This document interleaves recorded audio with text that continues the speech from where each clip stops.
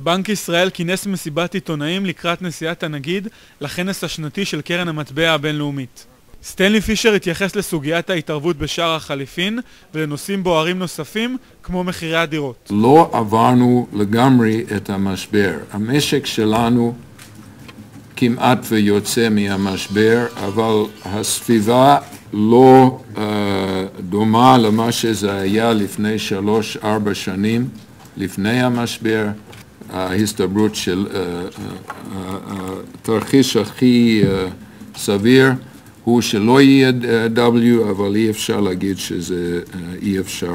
במהלך מסיבת העיתונאים רמז פישר על צעדים נוספים לריסון שוק הנדל"ן הבוער בישראל. ההיבט הכי חשוב לכל עניין הדיור, צד ההיצע, אם אין שינוי בצד ההיצע, וצריכים לשים לב לזה שבעצם יש עלייה מסוימת בשיעור uh, התחלות של uh, בנייה, התחלות של בניית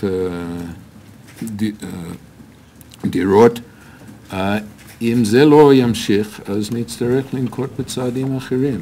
אנחנו, יש מספיק משברים שהתחילו בשוק הדיור, שאנחנו לא ניתן לזה לקרות בארץ, ויש לנו כלים, אנחנו מאוד רוצים שנטפל בבעיות מחירי הדיור בצד ההיצע. אם זה לא יקרה, אז אנחנו נצטרך לטפל, במה, בכ... להשתמש בכלים שיש לנו, הם בצד הביקוש. פישר הסביר שהנושא החם ביותר במשק העולמי שבו ידונו בכנס המטבע הוא מלחמת המטבעות וההתערבויות בשוק המטח. ידברו על הבעיה שמתחילים לקרוא לזה מלחמת המטבעות.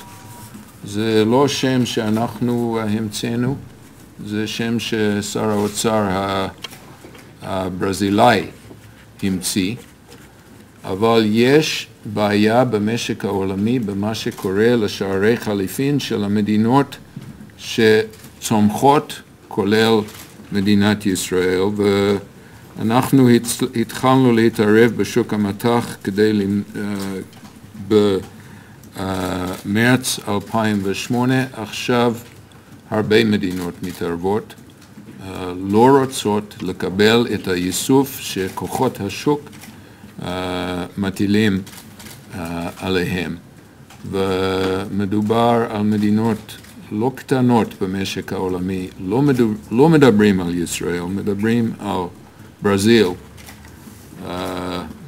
בוודאי מדברים על סין, אבל זה דבר שדיברו על סין כל הזמן. מחר יתחדש המסחר בדולר שקל ונראה שבנק ישראל לא יהיה אדיש להתחזקות מהירה של השקל.